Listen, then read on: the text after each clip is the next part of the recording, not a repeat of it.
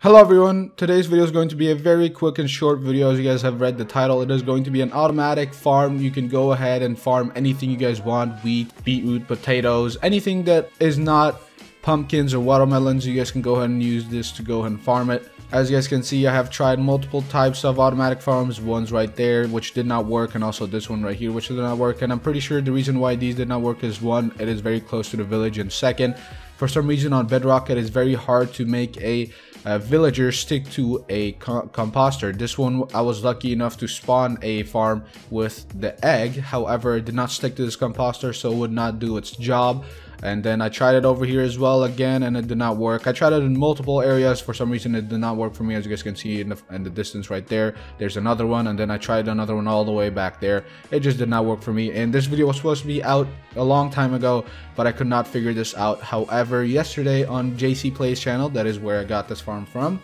he uploaded a very quick and easy. It was a very little and very I guess resource efficient farm and I want to go ahead and give all the credit to him. I just want to go ahead and show you guys an automatic farm because I did promise you guys an automatic farm in my first episode of Morebi Adventures.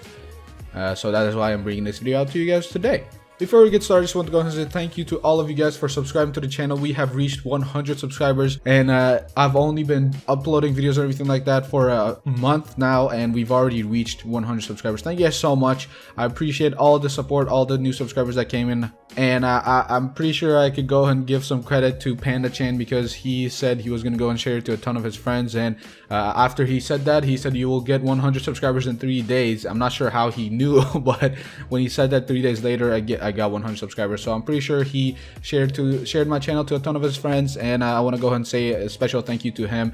And thank you to everyone who just joined in the channel and came to the channel. I hope you guys go ahead and stay because this channel is going to help you guys out a lot with your Minecraft Survival Worlds. With that being said, if you guys are interested in Minecraft videos that will help you guys out in your survival worlds or Minecraft in general, go and hit the like button, subscribe and notifications on because I will be uploading more and more content that will help you guys out in Minecraft. I'm gonna go ahead and show you guys what you need for this farm. So as you guys can see, you're gonna need one redstone comparator, one hoe, you're gonna need three dispensers, make sure it's dispensers, not droppers. You're gonna need one sticky piston, three slabs, one bucket of water, one stairs, any type of stair, one dirt, and then 11 uh, building blocks. You're gonna need 10 redstone and also one lever.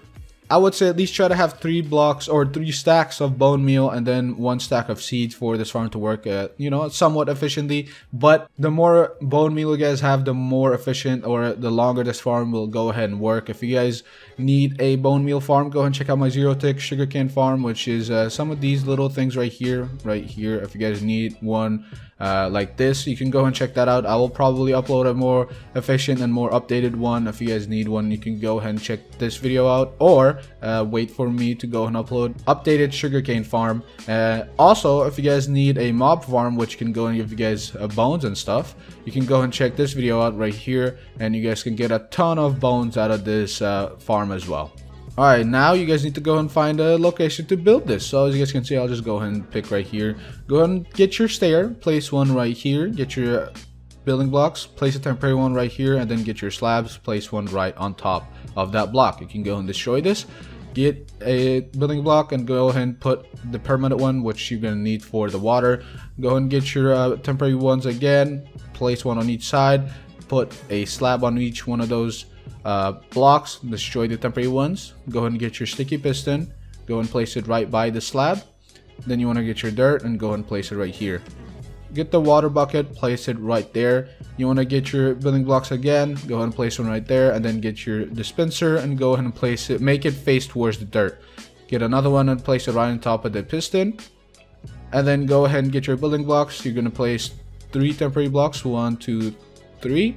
You can go ahead and destroy these two get your dispenser again, and you're to go and place your last dispenser right there. You can destroy this block if you want to. Then you want to go and get your building blocks again, place one right on top of the, or right by the, uh, the slab. Go and extend it to four blocks that way, or three blocks this way. Go and place two right there. Then you want to go and extend a little platform all the way to uh, this dispenser right here. Then you want to go and place one last one right by the piston. Now you want to get your lever and zone. Actually, before you do that, go ahead and tilt this dirt so you guys can go ahead have a tilted or wet, darkened tilt dirt so you guys can go ahead and, uh, you know, start farming and stuff. you want to get your uh, lever and go and place it right here. Then you want to go ahead and get your comparator, place it to where the two prongs are facing towards the lever, and then go and just click it one time so that, uh, you know, torch can go and turn on or button, whatever it is. You want to get your redstone, go ahead and make a little redstone clock. If you turn this on, as you guys can see, it is going to continue ticking. Go and turn this off for now. Extend the redstone trail all the way to this way. Go and crouch down, place one right on top of this dispenser, place another one on top of this one, and also this one. Then you can go ahead and connect them right on that block. You should have something like this. That means you guys are basically done with your farm. As you guys can see, it should look something like so. Uh, if you guys need to go over the video again, go ahead and replay it. I know sometimes I just go too fast. I apologize for that. Now you want to go and get your bone meal and your seeds. Go ahead and place one st uh, stack of bone meal in each dispenser uh, because you know it's it's good to have one stack if you guys want have more go ahead and place more because the more you have the longer this farm will work 64 uh, bone meal will not be able to do too much but you know what we're probably gonna get around a stack of whatever you guys are you know wanting to plant so how this farm works is go and uh, make the lever switched on. So this should work. You want to go and hold your plant button and it'll continuously give you crops and stuff I went to survival so you guys could actually see how much you actually get from this farm. So keep holding your plant button and you will continue to get uh, plants or crops out of this. Uh, after one stack of bone meal, you should be able to have around a stack of whatever you guys are planting because you get seeds and whatever you're planting. If you're planting wheat, you get the seeds back and also the wheat. So you're never really running out of seeds, but you're continuously getting more and more uh, wheat out of this.